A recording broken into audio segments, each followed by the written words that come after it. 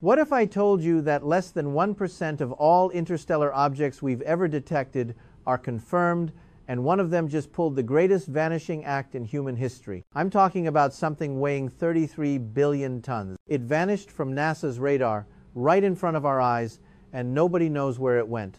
Stick around, because what happened next is going to blow your mind. Right now, at this very moment, we are standing face to face with something that no one at NASA truly saw coming. The interstellar traveler known as 3I Atlas, the third confirmed visitor from beyond our solar system, has done something that shakes the very foundations of everything we thought we understood.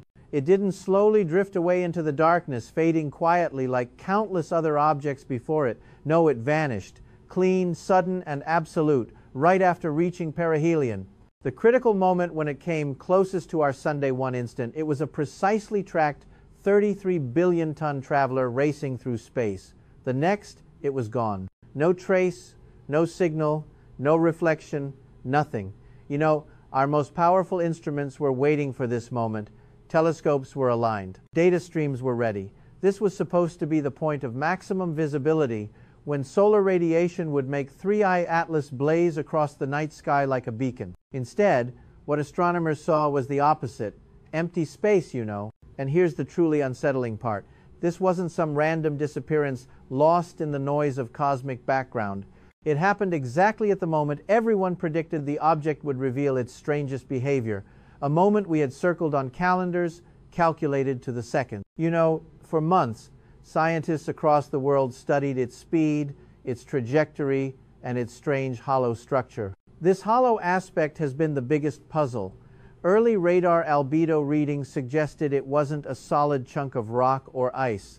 The density was just wrong. It was massive, 33 billion tons, yet it seemed to have significant internal voids, almost like a metallic scaffold or a porous, airy structure, unlike any known comet. This anomaly meant it reacted to solar pressure in ways that defied traditional models, making its sudden disappearance even more baffling. It wasn't just what it did, but what it was that didn't add up. They watched as it behaved like nothing natural should, and then at the peak of observation, just as its mysteries were supposed to unfold, it slipped away, as if it had chosen that moment. You know, 3i Atlas didn't simply, 3i Atlas uh, didn't simply pass us by, it outmaneuvered our gaze. It disappeared on its own terms, leaving the best instruments humanity has ever built staring at nothing but the silent void. And that silence is louder than any signal we could have hoped for. You know, October 29th, 2025.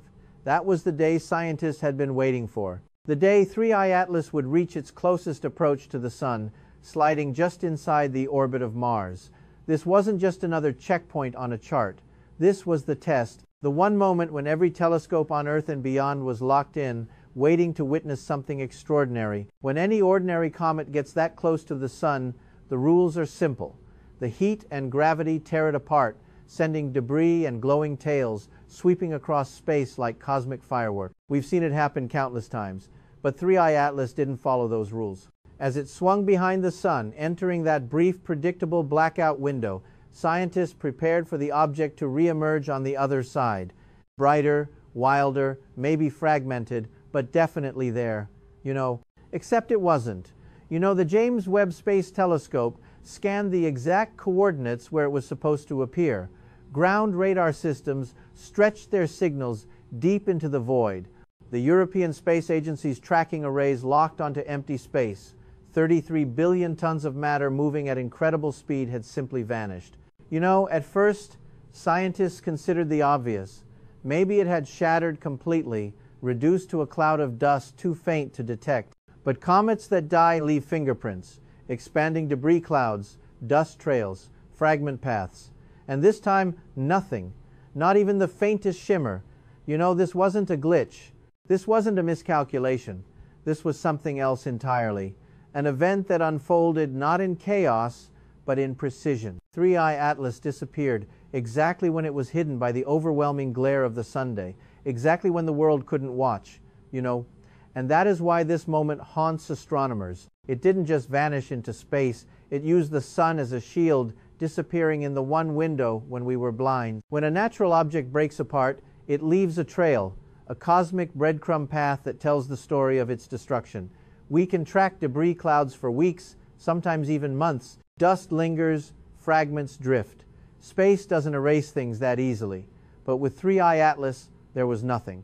No dust signature, no cloud, no fragment glimmering faintly in the dark. The Hubble Space Telescope can detect objects smaller than a city block at enormous distances. If 3I Atlas had shattered, even the tiniest pieces should have shown up in those scans. Instead, the data came back blank. A clean, sharp absence where 33 billion tons of matter should have been moving at precise, predictable speeds. Then came the second possibility. Maybe, just maybe, there had been a miscalculation. Maybe the object had emerged from behind the sun, just not where anyone, anyone, expected it. But here's the problem with that idea. This trajectory was calculated with surgical precision. For months, multiple observatories measured its speed, position, and acceleration to the tiniest fractions. They accounted for the pull of every major body in the solar system. They factored in the pressure of solar radiation. They even corrected for relativistic effects. The error margin was smaller than a grain of sand in an ocean. To lose it entirely would require a change so massive that no natural process could possibly explain it. This was not a case of the math being wrong. The math was flawless, which leaves us with something far more unsettling. The object itself changed the story. It didn't drift away. It didn't shatter. It didn't fade. It moved, or it made itself unseen in a way nature simply doesn't do on its own. And that single fact has scientists whispering what they rarely say out loud 3I Atlas isn't just another comet. It might be something different. There's a moment in every close solar encounter when the geometry of space and light creates a kind of cosmic blackout, a gap, a place where, from Earth, even our most powerful instruments can't see what's happening. 3I Atlas passed through that gap like it had been waiting for it. You know, as it moved behind the sun, it entered the deepest part of the solar gravity well, the place where a small push can rewrite an entire orbit. And this isn't science fiction. It's, it's a real and well known principle called the Oberth effect. When something applies thrust at its fastest point right at the bottom of a gravity, well, that small burst of energy turns into a massive trajectory change. If 3I Atlas had any form of propulsion, even something modest, that single moment near the sun would have been the most efficient time to use it. A gentle nudge there could have redirected it toward the outer planets, or into a stable orbit around the sun itself, or sent it somewhere we haven't even thought to look yet, you know. And here's the haunting detail. The disappearance didn't happen randomly, it happened at the one time when anything extraordinary could unfold without being seen. No telescope could pierce through the blinding solar glare. No radar could trace its movement across that wall of heat and plasma. Then, when the observation window opened again, it was simply gone. Not slower, not dimmer, gone. It's almost as if the object waited for that blind spot, as if it knew when the world wouldn't be watching. You know, for scientists who live in data and probabilities, this isn't just strange. It's chilling, because if 3I Atlas did maneuver deliberately in that moment, then what vanished behind the sun might not have been just a rock. Then came October 3rd, a precision flyby of Mars passing within 29 million kilometers. That's not just unusual, that's statistically astonishing. A cosmic coincidence with less than one chance in 50,000. Think about that. For an object flung from another star, randomly crossing the vast emptiness of space, to first perfectly align for a sun grazing maneuver and then to pass that closely to Mars. It's like hitting two consecutive bullseyes on a dartboard the size of the solar system while blindfolded this proximity to Mars is crucial. It wasn't just a flyby, it was a potential gravitational assist or even an observation point. This alignment strongly implies the trajectory wasn't random at all. It was optimized. You know, individually, any of these details could be written off as strange but natural. But when you put them together, the pattern begins to whisper something far more unnerving. It looks less like a wandering object and more like a traveler on a planned route. Go. 3I Atlas didn't just arrive. It executed a sequence, and then, at the exact moment when all eyes were on the sky, it disappeared into silence, like a performer stepping off stage right after the final act. You know, when the object disappeared, the reaction from the world's space agencies followed a familiar rhythm. a rhythm we've seen before. NASA released cautious statements, choosing each word carefully, emphasizing the need for more data, more time, more analysis. The European Space Agency acknowledged the detection gap but held firmly to the safest explanation fragmentation. And China, which had the best possible view from its Mars orbiter during the critical window, said nothing at all. This isn't the first time we've seen the silence grow louder than the signal. When the first interstellar visitor appeared years ago, certain radar data and spectrographic results stayed behind closed doors for months. The same thing happened with the second visitor. And now with 3i Atlas, the pattern tightens again. Information slows down, reports vanish into classified channels, official voices speak softly, if at all. You know, some say it's bureaucracy. Bureaucracy. Some say it's caution. But to many in the scientific community, it feels like something else. Institutional hesitation in the face of the unknown, not because of of conspiracy, but because acknowledging what doesn't fit the rule book is terrifying. You know, no one wants to say the word artificial. No one wants to ignite global panic or wild speculation. So they stall, they measure, they wait. But in that quiet, something unsettling happens. The absence of answers becomes an answer in itself, right? And that silence is louder now than ever. It stretches between observatories, between agencies, between nations. A silence that suggests this disappearance isn't just another anomaly. It's a question too big, too dangerous, too uncertain to answer out loud. Three Eye Atlas didn't just vanish from the sky. It pulled the truth into a shadow no one seems ready to step into. I know, even after the object vanished from direct observation, telescopes didn't fall silent. They kept listening. And in that quiet sky, something subtle began to emerge. A faint, rhythmic signal hidden in the noise. Not a broadcast in the way Hollywood imagines it.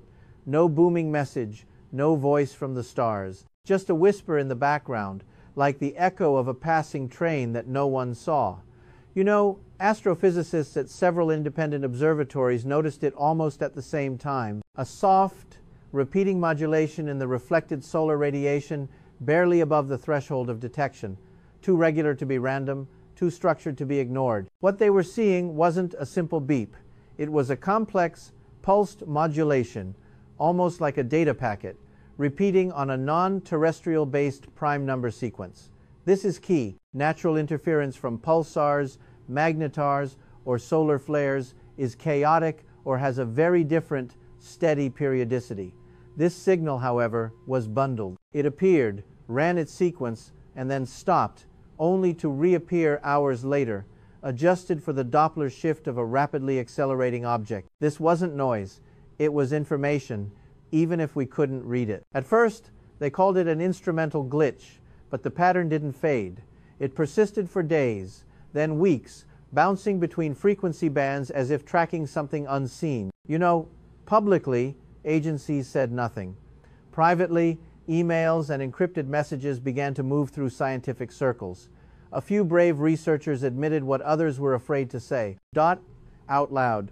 The signal didn't match any known natural phenomenon. Not comet tails, not fragmentation dust, not cosmic interference. Something was different. Um, you know, this wasn't the kind of signal you stumble on every day. It had timing, structure, and intent, or at least it felt like it. Some compared it to the famous WOW signal from the 70s. Others whispered it might be a new form of interstellar echo, a signature left behind intentionally or accidentally, right? And here's the part that raised every eyebrow in the room. The modulation lined up perfectly with the moment of disappearance, as if whatever 3i Atlas truly was, it left a fingerprint in the electromagnetic fabric of space. A final, quiet proof that vanishing didn't mean leaving nothing behind. It meant something was still out there, just harder to see. You know, when whispers about the signal began to circulate, the official responses arrived like clockwork. NASA held a carefully scripted briefing, calmly explaining that the modulation was likely the result of residual solar interference combined with instrumental artifacts. Their message was polished, deliberate, and most of all, dismissive.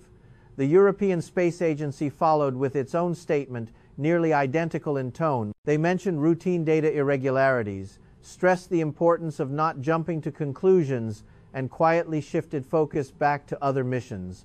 But what caught everyone's attention wasn't what they said, it was how perfectly synchronized their words were. Different agencies, different continents, but the same language, almost line for line, you know. Then came the silence from China again.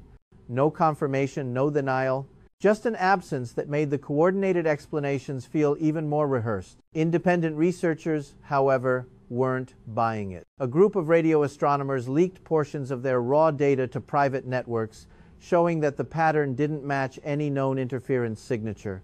It wasn't random, it wasn't noise, it was something else, you know. And just like that, a quiet war of narratives began. On one side, the institutions urging calm and patience, presenting polished explanations. On the other, a growing number of scientists and observers whispering that the truth is being held back, not out of malice, but out of fear. Fear of what acknowledging that signal might mean. Because if the modulation is real, if it truly came from 3i Atlas, then this wasn't just a disappearing object, it was an interaction, a moment when something out there might have noticed us noticing it. And that idea was something no agency seemed ready to say out loud. You know, behind the public denials and polished press releases, something strange began happening in the background. Observatories around the world reported sudden schedule shifts. Telescope time that had been booked months in advance was quietly overridden. Government research satellites redirected their sensors toward the same patch, dot, of empty space where 3i Atlas had last been seen. You know, no one was saying why, but the pattern was clear. Someone, somewhere, uh, still believed there was something out there to watch. You know, private observatories began noticing faint flashes of light near the original trajectory. Not bright enough to call a reappearance, but just enough to keep people awake at night, running simulations over and over. These weren't meteor trails, weren't lens flares, weren't anything that could be explained away easily. It was like trying to track a shadow that refused to stay still. You know, what they found wasn't a clear object, it was a trail, a thread of faint anomalies, each one insignificant alone, but together forming a path. A path leading away from the inner solar system, as if something had changed course deliberately, not drifting like debris, not dissolving like dust, moving. You know, agencies stayed silent, but those watching from the outside began to realize that what had started as a mystery might no longer be a single object. It was now a phenomenon, rippling outward in ways no one had prepared for. Three Eye Atlas may have vanished from sight, but its presence had only grown louder. It was no longer just an object. It had become a message in motion,